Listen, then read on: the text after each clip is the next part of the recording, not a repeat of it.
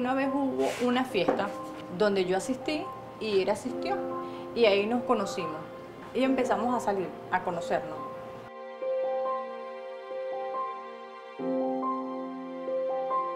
No sabía de que Argeni lo, lo, padecía. Este, me dio mucha curiosidad porque a través de los años que nosotros estábamos viviendo ya de incubinato, vi síntomas extraños para mí en su mamá.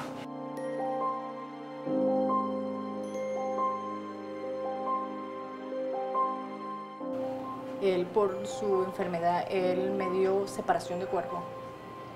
Porque él mismo se veía sus síntomas. No quería, tenía como que decir, como que miedo a que yo lo rechazara.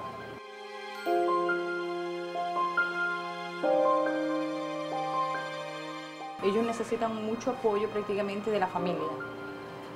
Mucho apoyo porque ellos se sienten solos. Yo lo quise mucho, o sea, lo quiero, no lo quise, lo quiero todavía. Es el padre de mis hijos. Porque nunca sé qué voy a, cómo van a reaccionar ellos. Y para mí es una sorpresa.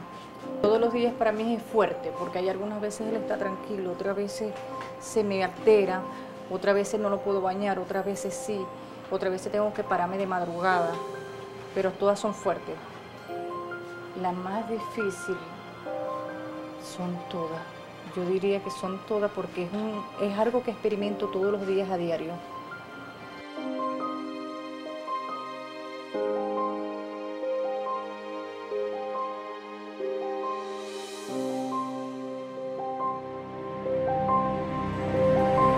Mi fuerza ahorita me levanta el día a día es el sobrellevar y tener a mi hijo. Él es mi motor primordial. Angelby me lleva a, me motiva mucho, disfruto mucho de él. No me quiero perder su día a día.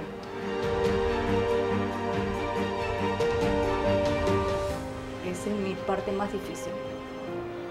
Lo retiré por mí misma, por el bullying, porque le dicen muchas cosas dentro de la comunidad y en la escuela.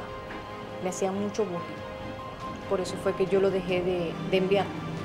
Pero lo voy a volver a inscribir para que vuelva otra vez a ir. Porque él quiere seguir estudiando.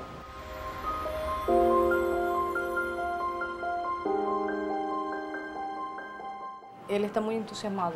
Cambió prácticamente, sí le subió la autoestima porque lo tenía muy bajo por las cuestiones de los niños, que él ya prácticamente aquí ya no me estaba saliendo, no estaba jugando. No tenía mucha comunicación con los niños. Conocer directamente al Papa, eso va a ser una experiencia para mí. Representar a, a los enfermos, para mí va a ser una experiencia también.